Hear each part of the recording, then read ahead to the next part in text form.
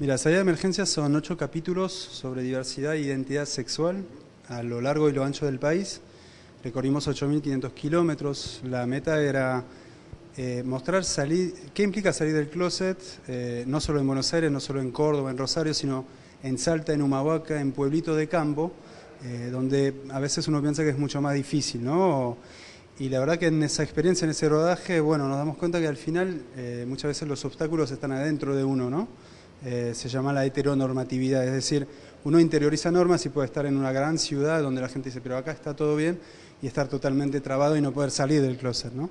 Entonces ese fenómeno nos convocó y bueno, son ocho capítulos sobre salida del closet, por eso se llama salida de emergencia, cuando una persona ya no puede aguantar más de mentir ¿no? y quiere afirmar su identidad entre dos leyes que están pasando en este país, que es por un lado la ley de matrimonio igualitario, que ya está aprobada, y antes que se apruebe, ojalá se apruebe pronto, la ley de identidad de género. Queríamos esa franja, digamos, de tiempo para decir qué cambió la ley de matrimonio igualitario y qué se espera de la ley de identidad de género.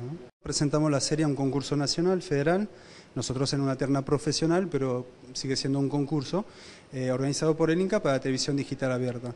Es muy raro que una televisión eh, acepte tratar un tema así eh, de manera documentalista sin que, sin que ese tema sea contaminado por un amarillismo, dejando expresarse la gente con un ojo documental y no con un ojo saliendo de los clichés, ¿no? que el gay no es siempre con una bolsa rosa, no, no es siempre el trans en la calle drogándose, digamos.